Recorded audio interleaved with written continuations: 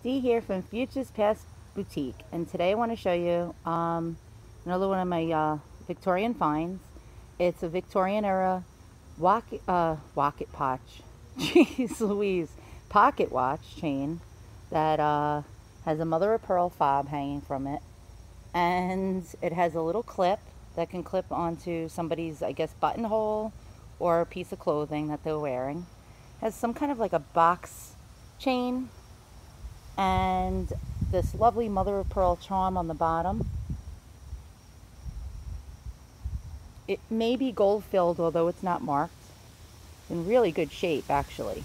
Um, I believe this was a lady's pocket watch chain and fob, um, and the reason uh, for that is because it's very long. Um, it's like necklace style, and I don't think gentlemen wear necklace style um, pocket watch chains, and I'll show you. Okay, so see how long this is?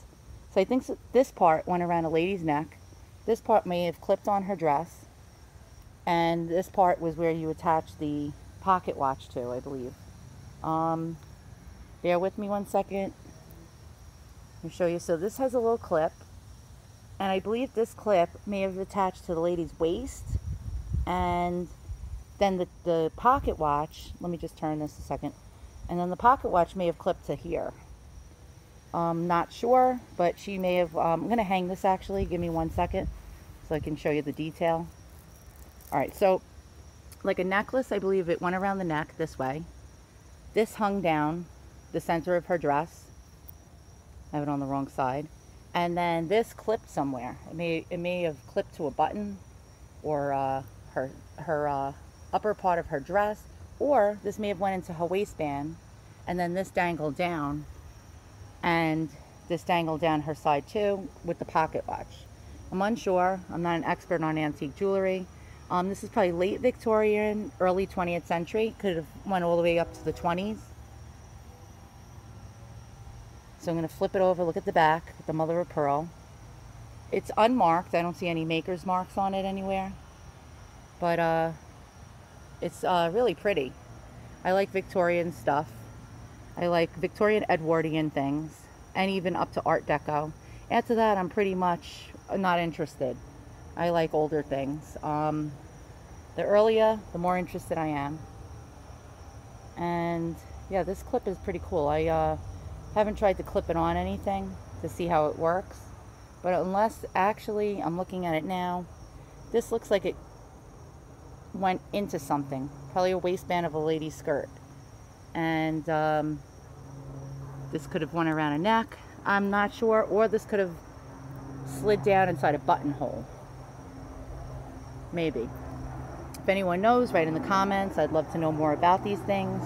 Um, trying to learn as much as I can about the things I collect. It's not always uh, out there. You have to know the correct terms to search for. And if you just get started, collecting a certain thing, it's hard to find the correct search terms. So I'm learning every day. That's what's fascinating about antiques. Every day there's something new to learn. Um, it's like never a dull moment. It, it, it's like uh, the gift that keeps on giving. And it's fun. It's a lot of fun. And you learn about history. There's always something that you can learn about. And that's one of my reason why, one of my reasons why I have such a passion for antiques and old things because not only are you learning about the object, you're learning about the history of the time and, and uh, what happened during the era that the item was made. And uh, you become much more educated about world matters and things of the past. So I don't like anything from today.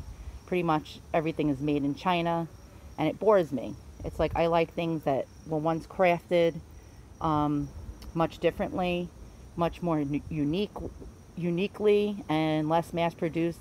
Although some of these items were mass produced, but you don't see them as much, you know, laying around these days. So I just love it. So uh, once again, thank you for watching another one of my videos. If you like what you see, please hit the subscribe button. I greatly appreciate it. And have a great day. And I hope I didn't bore you. Bye now.